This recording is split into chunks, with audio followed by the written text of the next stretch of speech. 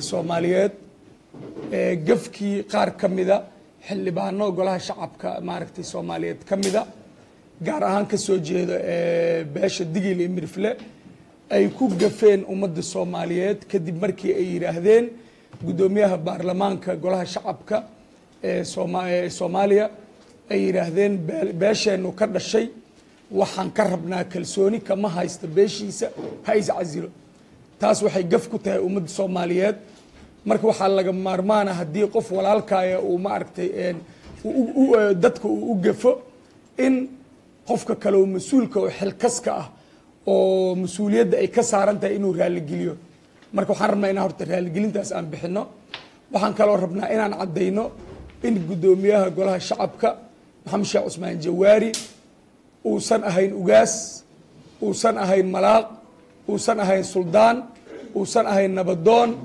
reeri ay doorteen ay boqreen ee uu ahaa guddoomiye golaha shacabka ummadda soomaaliyeed ay doorteen baarlamaankii soomaaliya siiyeenna kalsoonida. Kadib markay u arkeen in uu mas'uuliyaddaas hogaamin karo. Waxaan rabaa qodobka labaad inaan maanta meeshaan idinkugu caddeeyo macnaha ujeeddada baarlamaanka golaha annaga aan ka mid nahay inta mas'uuliyadda isa saartay ujeedkeedu maaha in qof lagu difaacayo. Ee waxaa lagu difaacaya institutionkii ama hay'addii sharci dejinta ee dhisnayd ummadda soomaaliya u dhisnayd aas-aaska iyo saldhigga ee bilowgii dowladnimada soomaaliya ahaydaa lagu ilaalinayaa annagu waxaan nahay xildhibaano waxaan nahay baarlamaan cidna ma necbin cidna ma jeclin. Mas'uuliyadeenna ayaa sidaas ku gudanaya waxaan kaloo rabaa inaan maaragtay aan kulankan uga faa'iidaysto dadka shalay hadlay iyo kuwo kale oo isqarinayo. Aniga walaalkay xildhibaan idris waxaan ka mid ahayn dadkii la tartamay guddoomiye jawaari.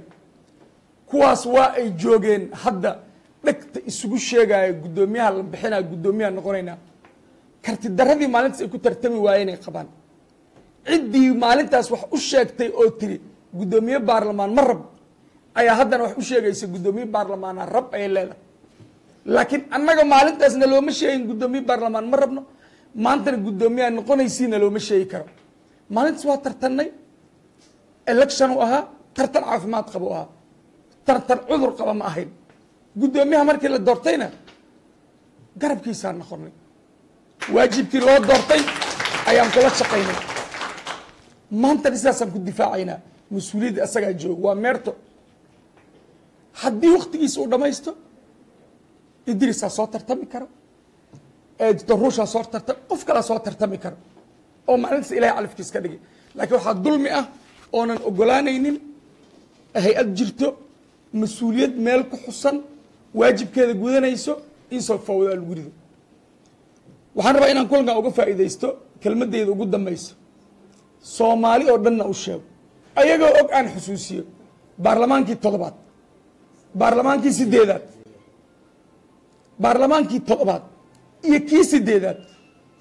Labadaba ninkii burburiyey oy ka dhismi weysay oo aad taqaanaan madaxweynaha ku-meelgaarka koonfur galbeed ka ah ood kulli wada garanaysaan ayaa raba inuu baarlamaanka sagaalaad burburiyo. Waa burburin waayo. Wuxuu hadda u soo kaba gashtay kii tobnaad inuu burburiyo marka qof u uuman inuu ummadda soomaaliyeed burburiyo hay'adaha sharci dejinta uu burburiyo. Waad xusuusataan baarlamaankii toddobaad markii asaga guddoomiye baarlamaan loo doortay baarlamaanka wuxuu u codeeyey xarun ku meel gaar inay baydhabo noqoto. Waa ninkii diiday oo baarlamaanka qaar xamar u sooray qaarkii kalena jowhar u kala guuran. Ilaa lacag la siiyo laaluush la siiyo ummadda uu ragaadiyo yaman la geeyo cali cabdalla saalax asagii cabdullahi u heshiisiyey xoogaagiis markuu qaatuu baydhabo yimid waa fadhin waayo haddana kii raray waa asmaro u raray. Baarlamaanka xorta u bixiyey saasuu ku dhammaystay waktigiisa baarlamaanka sideedaada la yimid. Jabuuti ra'iisal wasaare ku-xigeen wasiir maaliyadu kala yimid. Waa anfici weysay waa kii fawdada uu hadda raadinayo wuu wuu wuu. Shahaadamadooba ku riday. Baarlamaankii albaabka xirtay waayo baarlamaanka soomaaliyeed kii shan boqol iyo toddobaatan ka dhigay waayo oon soomaaliya qaadi karin. Marxaladda ay ku jirto ayadoo la ogyahay. Shan boqol iyo konton. Waxaa nasiib darro ah in ummadda soomaaliyeed dadkii aan islahayn waa waaye arag waayay u soo joogeen. Oo baarlamaankii toddobaad iyo kii sideedaad wixii laga soo maray wuxuu soo maray og. Qaarkood inay maanta asaga ag fadhiyaan oo dhegta wax ugu sheegaan war annagu waxaan nahay dad xor ah. Cid dhegta wax nooguma sheegto. Waxaan nahay mas'uuliyiin mas'uuliyaddooda garanayso. Waa mahadsantii saa ka warqabtaan annaga maanta waxaan isugu nimid maxaa la xildhibaanadii ka soo jeeday digili miriflo waaye tiradoodan waxay gaaraysaa soddon iyo siddeed qof. Waxaan isugu imaanin waxa waaye waa dareemi kartaa xaaladda hadda waddanka uu ku jiro oo dhinaca siyaasadda ah ayadoo ay jirto dhibaato tii ugu xumeed waddanka. Siiba haddana dhulka annaga aan ka nimid oo saddexda gobol ah oo maamul koonfur galbeed ah waxaa ka jiro biyo la'aanaa ka jirto waxaa ka jiro maxaa la dagaalaa ka socdo waxaa ka jiro abaar oo baahi ayaa ka jirto. Ayadoo xaaladaas ay jirto aniga hadda waxaan ka yimid baydhabo muddo laga joogay saddex beri ka hor. Haddana berit waa u socdaa. Waxa waa xaalad adag. Hadda waxaana noo soo sheegay in dadka qaarkood ay biyo la'aan u dhimanayaan waa waktigii ugu xumeed waaye dadkii mas'uuliyiinta ka ahaana waa dadka hadda hawsha wada oo maxaa la lahayay? Qarankii soomaaliyeed raba inay dudumiyaan waaye. Waxaan u sheegaynaa bulshada caalamka ah iyo bulshada soomaaliyeedba. Waxa waaye guddoomiyaha baarlamaanka maxamed cusmaan jawaari waxa waaye waa guddoomiyihii baarlamaanka waaye. Wuxuu ku yimid qars doorashu ku yimid. Doorasho oo waxay ahayd maxaa la dhahay dhala ah oo qarsoodi ahayd. Hadda wuxuu diyaar leeyahay uu sheegay inuu doorashadii haddana uu rabo oo beesha caalamka ay ka soo qayb gasho qeybaha kala duwan bulshada rayidka ay ka soo qayb galaan uu codsaday culamaauddiinta iyo haweenka inay ka soo qayb galaan. Annaga waxaan rabnaa xalaal iftiinka la qalaa maalinta tobanka beri ay dhammaato bisha shan iyo labaatankeeda ama lix iyo labaatankeeda in laysugu yimaado bannaan fagaaro ah. Ciddii rabta inay ninkaasi maxaa la lahay mooshin ku qaado oo ay riddo waa imaan kartaa. Waxaan u sheegaynaa waa ninka keliya markuu madaxweynaha baxo kusimo meesha ka ah sida qodobka sagaashan iyo afaraad uu qoraayo qodobka lixdan iyo shanaad farqadiisa afaraad waxay qoraysaa codku waa qarsoodi waay. Ma aha cod gacantaag ah laba meelood saddex dalool laba dalool waaye markaan waxaan rabnaa ninkii wax isku haayow oo raba inuu jawaari rido ha yimaado fagaarahaas.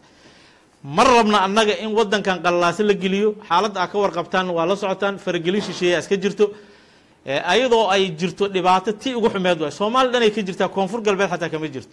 Cid cid ka warqabta male soomaaliya cid u maqan hadda male maba dhihi karaan. Dowladda hadda waxay jirtay hal sana waa dadaashay maxaabiistay soo daysay.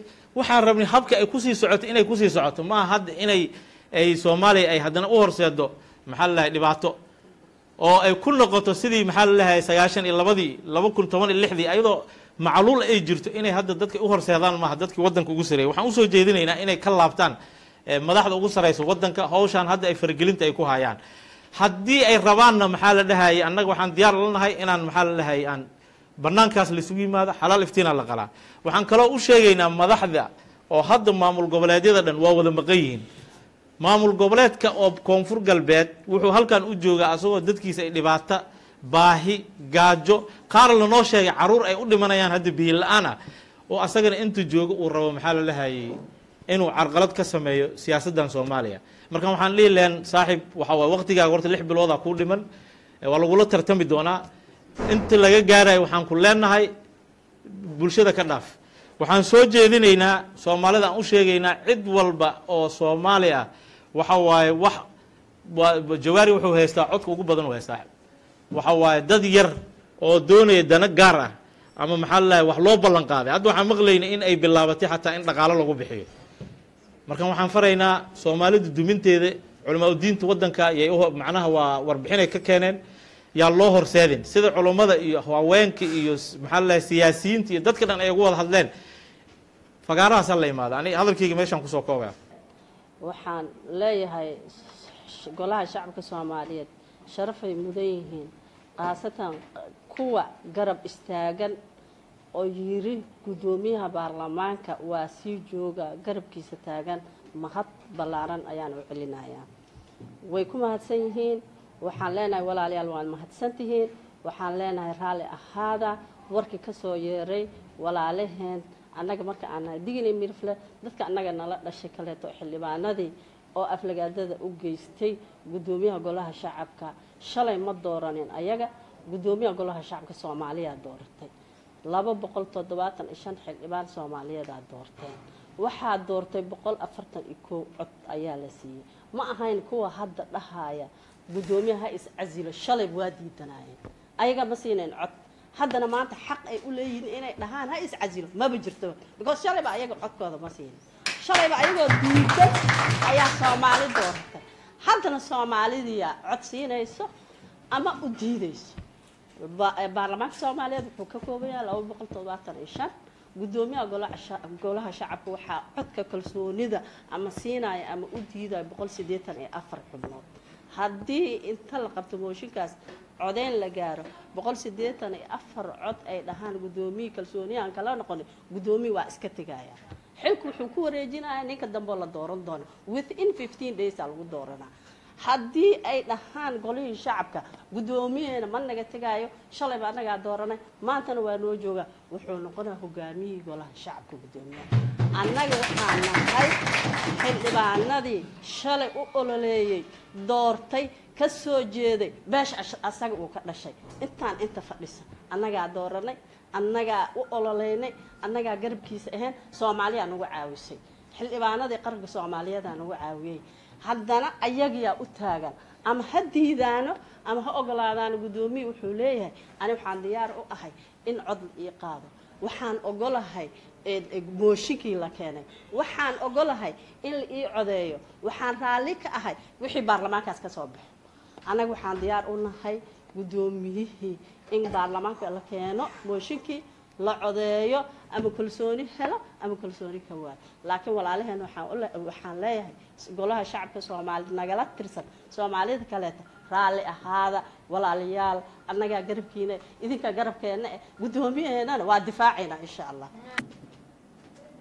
Annaga halkan waxaan usuga nimid marka hore amba ujeedada weyn aan halkan usuga nimid waxaa waaye in aan ka jawaab bixino warxumada amba falalka guracan shalay ay ku kaceen xildhibaano ka mid ah. Xildhibaanada digil mirifle ay kuwo kalena ay ku taageereen iyaan halkan usuga nimid. Waxaa weeye waxyaalaha ay ku kaceen shalay waxa weeye wax la qiyaaqsado oo qof mas'uula xildhibaana wax ku hadlo ma ahayn. Xildhibaanka waxa weeye waxaa horyaala dastuur waxaa horyaala xeer hoosaad waxyaalaha uu ku hadlayo laftirkooda waxa waxyaalo badan baa ka reeban inuu ku hadlo. Waxyaalaha ku hadlayana waxa weeye wax siyaasad ku salaysan wax cilmiyeysan oo qorshaysan inuu ku hadlo waayo qofka. Laakiin nimanka shalay meesha ka hadlay oo weliba siiba ka soo jeediy beesha annaga aan ka soo jeedno digil mirfle oo weliba ahayn rag soo maray jagooyin ay soo mareen wasiiro guddoomiye baarlamaan ay soo mareen waxyaalaha ay ku hadleen waxa weeye waxyaalaha taariikhda ay baalmidow ay ugu galayeen way runtii. Sidaa darteed si saaxiibada horeba ay u sheegeen anigoo shir guddoominay shirkan waxaan u sheegaynaa amba uga tacsiidaynaa mataqaanaa ummadda soomaaliya dhammaan gudaha kuu joog iyo dibidda intaba waxaan ka raali gelinaynaa gefka shali loo geystay mudane moxamed ismaan sheekh jawaari jawaari waa nin qaran waa guddoomiye baarlamaan waay. Guddoomiye baarlamaan markuu yahay isaga isumaha beeshana uma aha laakiin waxay ummadda soomaaliyeed buu u yahay iyo shacabka soomaaliyeed. Laakiin waxa weeye dad aan waxgarad waxgarad aan ahayn baa mataqaana hadalkaas mataqaana ka soo yeeri. Runtii motion waa la iska keenaa laakiin waxaa reeban aflagaadada reeban. Motion waa la iska keenaa dhib ma laha. Xildhibaanka waxa weeye howshiisa amba asaga soo jeedin qof liduko ah amba hay'ad liduko ah mataqaana waa samayn karaa laakiin in shaksiga si bareer ee mataqaana u cabaaro oo mataqaana waxa weye cambaareeyo amba aflagaadeeyo waa ka xaaraan waay. Dastuurkeena ma qabo xeer hoosaadkeena ma qabo. Saa darteed waxay mar labaad waxaan u sheegaynaa dadka aflagaadada ay geystay inay dib u fikiraan oo ayagana mataqaana ay ogaadaan in taariikhda berito ay ka galayeen baalmidow ay ka galayeen saa darteed jawaari waxa weeye waa nin qaran. Macnaha nin qaran markaan leeyahy waa nin guddoomiye baarlamaan ilaa hadda kursiga isaga ku fadhiyaa. Ciddii mataqaana ay gubi lahayd iyo ciddii mataqaana ay mataqaana ay ku farxa lahayd intaba u soo ku fadhiya hadda waxa uu kici kara meesha oo keliya waxa weeye in codka ku qoran dastuurka oo ah saddex dolool labo dolool haddii la keeno ama mataqaana loo guulaysto markaasuu ka kici karaa kursiga. Laakiin uguma kici kara kursiga hayse casilo waa nin oday. Ninkaa waxaa weye sida saaxiibkay sheegi waaya ninkaa suldaana ma aha isin ma aha ugaas ma aha. Waa nin qaran mataqaana siyaasi rug cadaaba yuli oo wax kasta soo maray.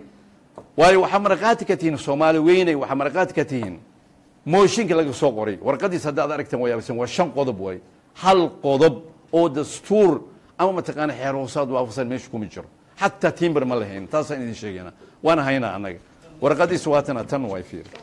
Tan way sawirkaan way. Warqad sawir way waatana tan waay waa tan. Ma timberaysan tahay? Arkiibi ma laha. Saxiix ma laha. Waxba ma laha.